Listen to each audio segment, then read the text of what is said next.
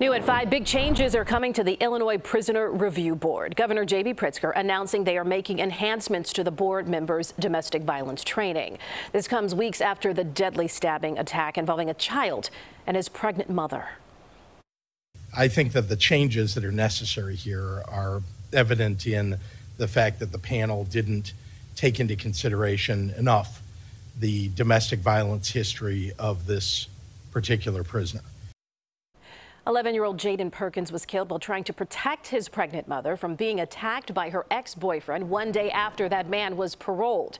We first told you last week that two board members stepped down from their positions. One of those former board members wrote the report recommending the suspect's release from prison.